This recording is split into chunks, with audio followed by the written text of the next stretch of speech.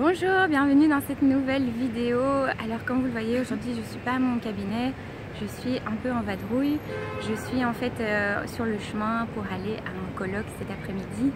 Et bon, vous le savez, normalement le mardi c'est le jour du VS, donc euh, un concept juridique contre un autre concept juridique.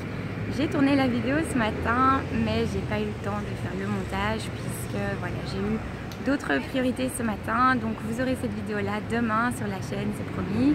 Donc aujourd'hui je vais vous faire en fait la petite vidéo que je voulais vous faire demain, sauf que voilà, elle sera pas montée, il n'y aura aucun, effet. Je vais juste la faire avec mon GSM et l'uploader sur YouTube en espérant qu'il y ait du bon wifi là où je vais aller. Mais donc euh, voilà, je voulais en fait vous, vous, faire cette petite vidéo aussi pour vous montrer que bah, voilà, quand on est avocat, on a des obligations de se former de façon continue, c'est-à-dire voilà, on fait 5 ans à l'UNIF, puis on fait 3 euh, ans de stage de barreau, etc.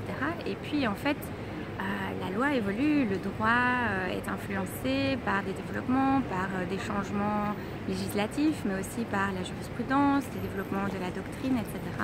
Et du coup, on doit toujours rester à jour dans les matières qu'on pratique et on a ces obligations du coup de suivre des formations. Donc là cet après-midi je suis contente parce que je vais passer euh, du temps avec mes confrères, je vais euh, rencontrer des chouettes personnes, euh, voilà c'est aussi des, bons moments d'aller à ces colloques. Et du coup ben, le colloque d'aujourd'hui c'est sur en fait les réformes en matière de droit de l'insolvabilité et surtout le fait que ça va être étendu aux professions libérales. Donc ça, c'est vraiment une grande nouveauté.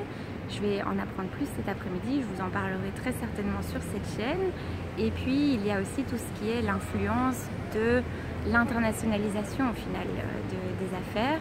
Qu'est-ce qui se passe si une société fait faillite dans un autre pays? Euh, Est-ce que ça a des impacts en Belgique euh, pour les filiales par exemple Donc voilà, c'est ça aussi qu'on va voir cet après-midi à ce colloque. Je vous en avais déjà brièvement parlé dans une précédente vidéo que je vous invite à aller regarder.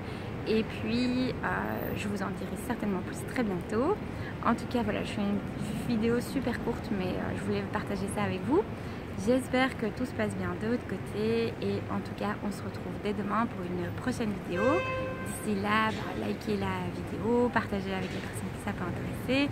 Abonnez-vous à la chaîne si ce n'est pas encore fait, je vous invite vraiment à le faire. Je vous fais une petite vidéo par jour euh, du lundi au vendredi sur des thématiques juridiques sur le droit de l'entreprise en Belgique.